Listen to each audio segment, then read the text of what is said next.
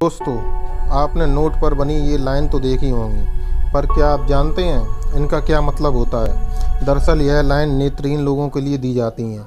इसमें एक छोटा सा उभार होता है, जिसे आप छूकर महसूस कर सकते हैं। यह लाइन हर नोट पर अलग अलग होती है। इसे छूकर नेत्रहीन लोग यह बता सकते हैं कि यह नोट कितने का है, और असली है या नकली।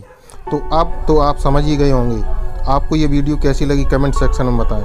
और वीडियो को लाइक, शेयर एंड सब्सक्राइब करना ना भूलें।